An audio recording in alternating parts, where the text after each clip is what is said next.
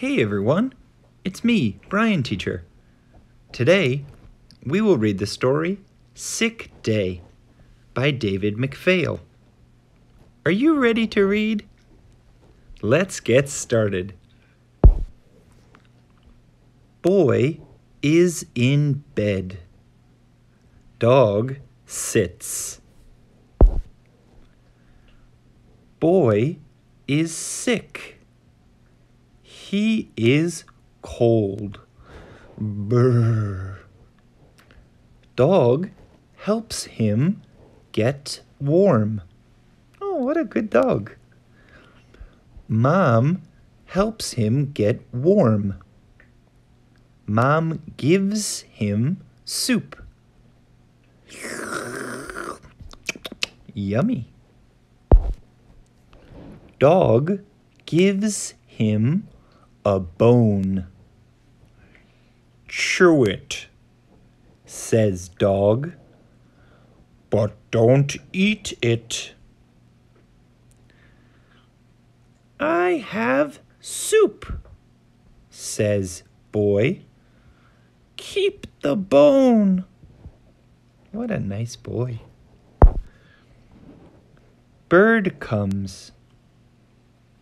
Boy is sick, says dog.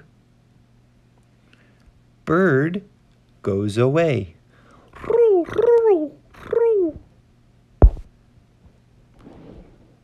He comes back with pizza. This will help you get well, says Bird. That is good, says Dog. But boy has soup. Soup will help him get well. Boy has a nap. Dog has the bone. Bird has the pizza. The next day, Boy is fine. He and Dog go out. Hmm. They see Bird. I am sick, says Bird. I ate too much pizza. Boy and dog sit with bird. Then bird is fine. But dog is sick.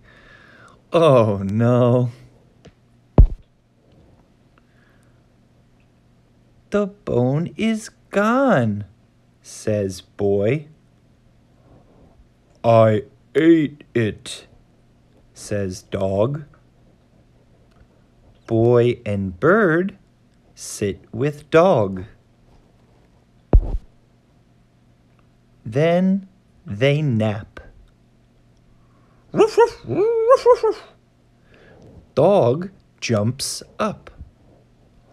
I am fine, he says. Boy, bird, and dog are all fine. It is time to play. Oh, yeah. The end. And as always, thanks for listening, and we'll see you again next time. Bye bye.